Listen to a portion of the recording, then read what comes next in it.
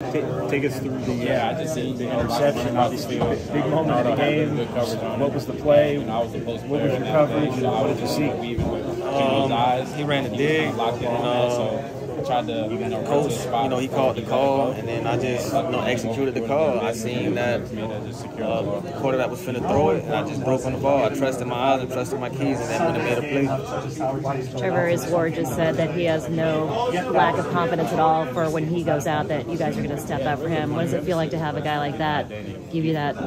Um, that I mean, when you've been around a guy you know, through OTAs and, you know, camp, you know, just in, in the season every day. You know, a guy sees what you made of, he sees what you can do, you know, so in our DB room, like we always working, you know, always putting the, the work in and the time in to get to where we want to go. So, um, I, I mean, it feels good that my teammate has confidence in me, but like, you know, we all work. So, practice how you play. To be able to come up with that play, given the moment in the game, I mean, just how much confidence does that give you? Just how big is that? I mean, in a game that was so important. I always have confidence. I've been playing football for like 20 years. So like confidence is like something that I always got. It's like I play football. It's like that's like going to sleep. I do it like that's what I do. So um, I mean, yeah, it's cool to make a play and stuff like that, but I just go out there, play my game, you know, do what I'm supposed to do, and then be the best I can be. I try to eat every play. So that's my mindset, that's my mentality. You guys held DK Metcalf to three catches. Uh, what? How was he? Well, how was he like out there? Was he chatting with you guys a bit? Um, yeah. I mean, I don't really get into all that rah rah back and forth stuff, but uh.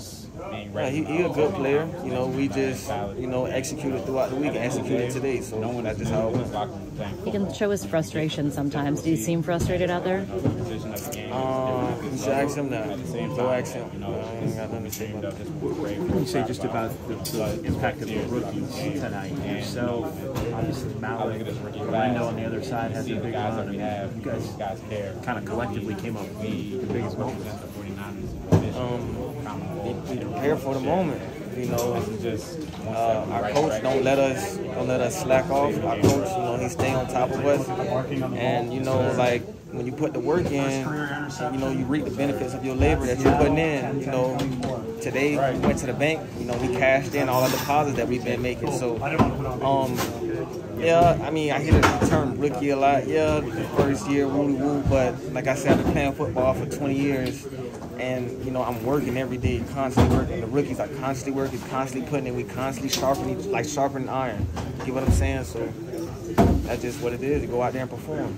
At the end of the third quarter, the Seahawks got some momentum going. Did it feel like you guys were going down the same path that you had the last couple weeks? Um, no, not really. Um, it was a message that was, you know, said before the game, and you know, we took it upon ourselves to, you know, refocus. You know, no matter what's happening, refocus. And, you know, we made sure that, you know, we did that regardless. Good play, bad play. You give up a play, you make a play. Refocus. You want to good as your next play. The game not over until the 0 0 0, and that was the mindset.